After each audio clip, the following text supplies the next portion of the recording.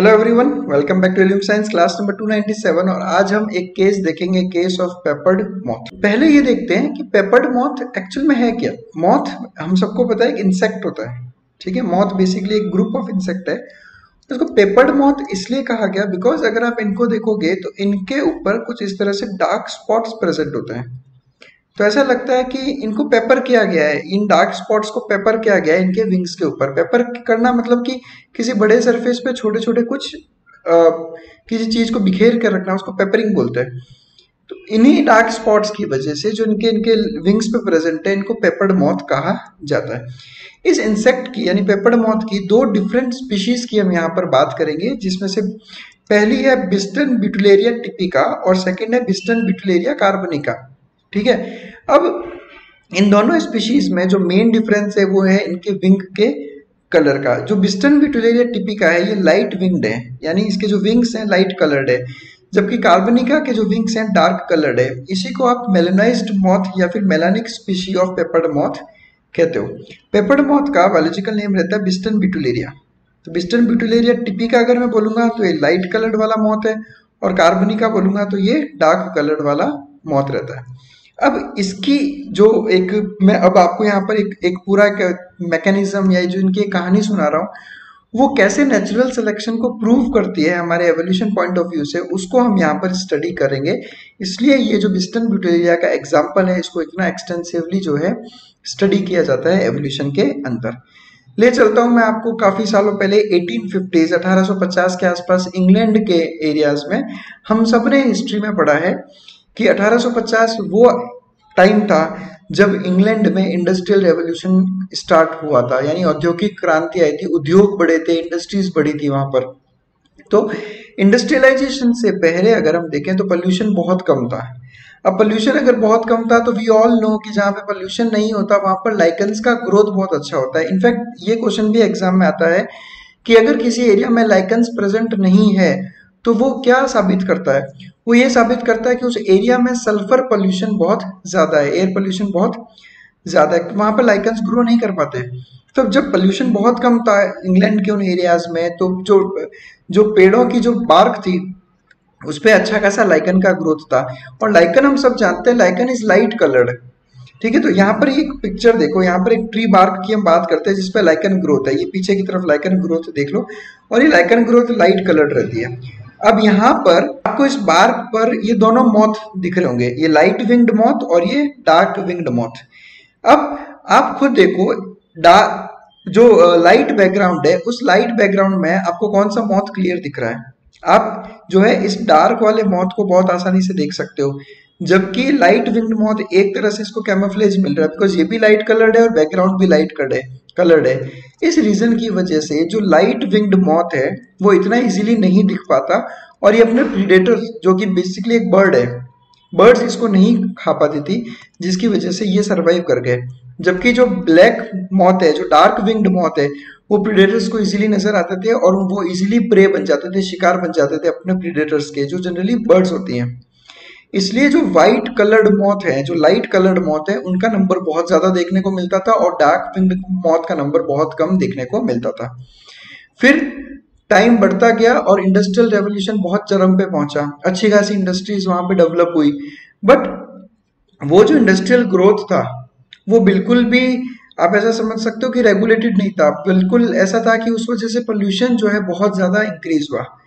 अब post industrialisation की बात करता हूँ नाइनटीन ट्वेंटीज की बात करता हूँ, मैं जब मैं पोल्यूशन बहुत ज़्यादा हो गया था, उस वक्त जो मेजर एनर्जी सोर्स था, वो था कोल तो एक्सटेंसिव कोल बर्निंग की वजह से वी ऑल नो कि सल्फ़र रिलीज़ होता है.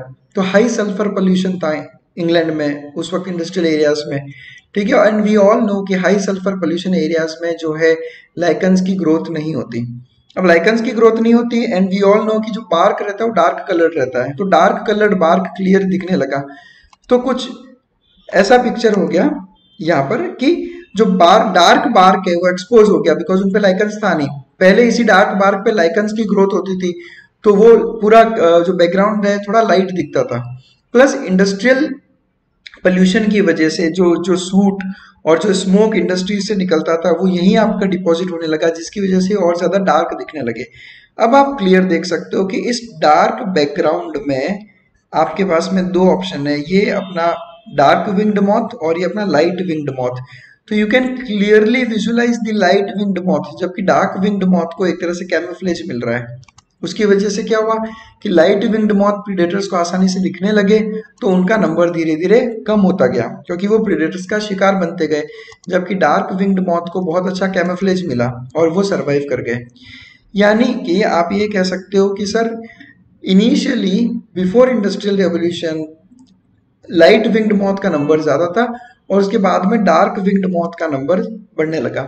इस पूरे सिस्टम को, इस पूरे मैकेनिज्म को कहा गया इंडस्ट्रियल मेलानिज्म क्योंकि इंडस्ट्रीज़ की वजह से इंडस्ट्रियल ग्रोथ की वजह से जो है नेचुरल सिलेक्शन हुआ और नेचर ने किसको सेलेक्ट किया? नेचर ने सेलेक्ट किया मेलानाइज्ड मौत को। ठीक है, इसलिए इसको इंडस्ट्रियल मेलानिज्म कहा जाता है। ना this is one of the best examples जो स्टडी किया जाता है नेचुरल सिलेक्शन के अंदर कि किस तरह से नेचर उस स्पीशी को सेलेक्ट कर रही है जिसके पास में है सर्वाइवल ऑफ़ द फिटेस्ट हमने एवोल्यूशन में भी यही पढ़ा था। ठीक है, ये, जो नेचर में इजीली सरवाइव कर पाएगी, वही सबसे ज़्यादा जो है नेचर उसी को सेलेक्ट करेगा और उसी का नंबर बढ़ेगा। यही है नेचुरल सिलेक्शन और इस पेपर मौत के एग्ज़ाम्पल को कहा जाता है इंडस्ट्रियल मेलानिज्म इसके पीछे का अगर हम साइंटिफिक देखें तो देखो पहले हमें पता है before industrial growth light coloured moth ज़्यादा थे, उसके बाद में डार्क कलर्ड मौत ज़्यादा होने लगे। तो हुआ है बेसिकली ऐसा कि ये जो लाइट कलर्ड मौत है, इसके एक जीन में म्यूटेशन हुआ और ये डोमिनेंट म्यूटेशन की वजह से जो इसका कलर है डार्क कलर्ड हो गया। ठीक है? और बाद में डार्क कलर्ड मॉथ को कैमोफ्लेज मिलने लगा और इसका नंबर बढ़ता गया और इसका नंबर धीरे धीरे कम होता गया। तो ये एक क्लासिकल एग्ज़ाम्पल है नेचुरल सिलेक्शन का। बट एक बात आपको ध्यान रखनी है, यहाँ पर कोई भी एक वेरिएंट कभी भी कंप्लीटली वाइप्ड आउट नहीं हुआ। ऐसा नहीं है कि लाइट विंग्ड पूरी तरह से एक्सटिंक्ट हो गए या डार्क विंग्ड पूरी तरीके से एक्सटिंक्ट हो गए, नहीं, दोनों अभी भी एग्जिस्ट करते हैं। दोनों ही उस वक्त एग्जिस्ट कर रहे थे। अगर हम उन इंडस्ट्रियल एरियाज़ के आसपास के रूरल एरियाज़ को देखें तो उन रूरल रूरल एरियाज़ में, गाँव के एरियाज़ में इतना पॉल्यूशन नहीं था। तो जो जो लाइट विंग्ड मौत है, उसका नंबर हमेशा ज़्यादा रहा। तो किस तरह से नेचर में बदलाव के साथ साथ स्पीशीज में बदलाव होता है उस, और नेचर किस तरह से उन्हीं स्पीशीज को सेलेक्ट करता है जो अपने सराउंडिंग्स जो अपने नेचर एनवायरनमेंट में इजीली सरवाइव करने की कैपेबिलिटी रखते हो, यही है नेचुरल सिलेक्शन हम 1920s के बाद की भी बात करें अगर तो जब हमें बाद में ये समझ में आया पोस्ट इंडस्ट्रियल रेवोल्यूशन की, अगर इसी तरह से हम पोल्यूशन करते रहे तो हमारा ये जो जो अर्थ है, जो हमारा प्लेनेट है, वो इनहॉस्पिटेबल रह हो जाएगा। हम यहाँ इतना इजीली सरवाइव नहीं कर पाएँगे। तो उसके बाद में इंडस्ट्रीज़ पर चेक्स होने लगे। इंडस्ट्रीज़ पे बहुत इस तरह से स्टेप्स उठाए गए ताकि पोल्यूशन को मिनिमाइज किया जा सके। तो रिसेंट ईयर्स की बात करें तो हमने सबसे पहले तो कोल पे डिपेंडेंसी कम की। ठीक है? रिड्यूस्ड यूज़ चलने लगा कोल कोल का। बिकॉज़ हमने हमने उसके बाद में इलेक्ट्रिसिटी आ गई। तो एनर्जी का मेन सोर्स हमारे पास में अब इलेक्ट्रिसिटी हो गया। तो हमारा कोल पे डिपेंडेंस कम हो गया। अभी ऑल नो जैसे एक, एग्जांपल लेता हूँ मैं जैसे ट्रेन हो गई। ट्रेन आप सबको पता है पहले कोल पे चलती थी और अब सब कुछ इलेक्ट्रिसिटी पे चलता है। तो इस तरह से हम कोल से इलेक्ट्रिसिटी पे आए। इंडस्ट्रियल पोल्यूशन को बहुत कम किया। इंडस्ट्रीज़ में ऐसे ऐसे हमने डिवाइसेस और टेक्निक्स यूज़ की जिससे सूट जो है फ़िल्टर आउट हो सके। हार्मफुल गैसेस जो है वो वहीं पे ट्रैप की जा सके। जब ये सब मेजर्स किए गए तो बाद में हमें हमें ये रियलाइज़ हुआ और ये स्टडी की गई कि जो लाइट कलर्ड मॉथ है, उसका पॉपुलेशन फिर से बढ़ने लगा गेटिंग माई पॉइंट तो आप ये बोल सकते हो कि initially before industrial revolution light moth ज़्यादा थे, फिर जब पोल्यूशन बहुत ज़्यादा था तो डार्क विंग्ड का नंबर इंक्रीज हुआ। उसके बाद जैसे जैसे हमने पोल्यूशन पे वापस चेक किया, तभी लाइट विंग्ड मौत का नंबर धीरे धीरे और इंक्रीज होने लगा। तो देखो आप किस तरह से नेचुरल सिलेक्शन एक्ट कर रहा है। और ऐसा नहीं है कि हमने इंडस्ट्रियल मेलानिज्म को या ये पेपर मौत का एग्ज़ाम्पल को केवल हमने किसी एक इन्हीं इंग्लैंड के ही एरियाज़ में देखा। नहीं, ऐसा नहीं है। अगर हम यूएस के पिट्सबर्ग की बात करें now this area this is the Pennsylvania जो यूएस में प्रेजेंट है। उस पेंसिल्वेनिया के पिट्सबर्ग एरिया में भी हमने इंडस्ट्रियल मेलानिज्म को स्टडी किया है। और उसके अलावा इंग्लैंड के इन पार्ट्स में हमने इंडस्ट्रियल मेलानिज्म को भली भांति स्टडी किया है, जिसमें करीब seventy different species of moth जो इंग्लैंड में और पिट्सबर्ग यूएस में 100 स्पीशीज ऑफ़ मॉथ पे भी इंडस्ट्रियल मेलानिज्म को बहुत एक्सटेंसिवली स्टडी किया।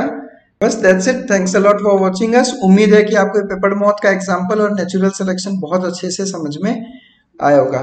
Thanks a lot for watching us stay connected with us for more such interesting videos biology को और बेहतर और आसान बनाने के लिए जुड़े रहिए हमारे एल्यूम साइंस चैनल के साथ में। Thank you